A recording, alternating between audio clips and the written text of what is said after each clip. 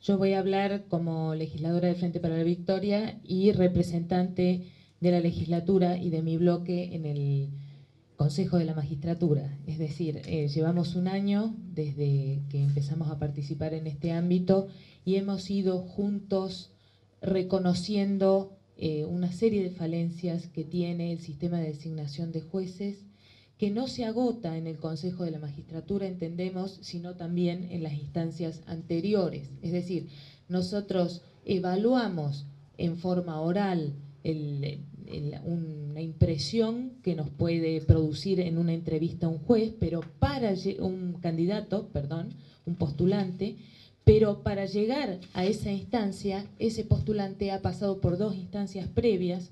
Una es la evaluación de antecedentes, que muy brevemente esto va a dar para muchísimo más de, debate, pero esta instancia de los antecedentes hace en general una, eh, un corte etario en los eh, candidatos que quedan. Es una instancia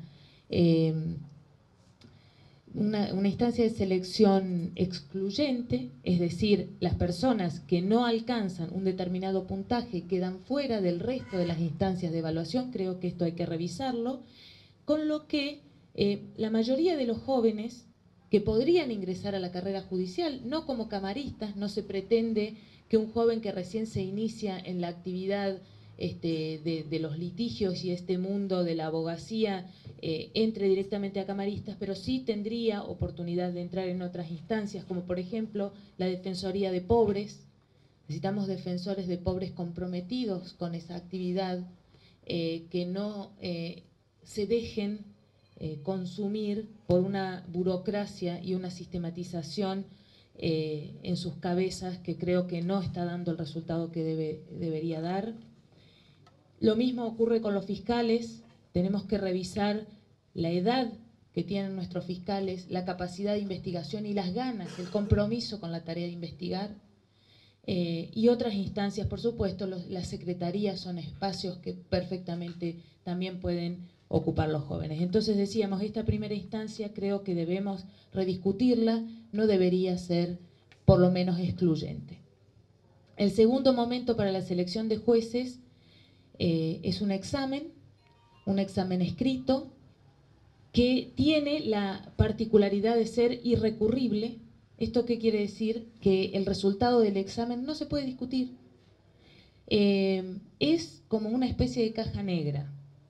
No se puede ver qué pasó allí adentro, no hay una instancia de apelación, no tenemos, el candidato no tiene oportunidad eh, de entender cuáles fueron los criterios a través de los cuales fueron evaluados. Las actas de, esos, de la evaluación de esos exámenes son sumamente escuetas, no tienen argumentos. Nosotros hemos querido revisar qué pasó en, una, en esa instancia y no hemos podido. Y por último, la tercera instancia sí es la del Consejo de la Magistratura, que por supuesto en la conformación actual eh, de los ocho miembros, solo dos somos no abogados.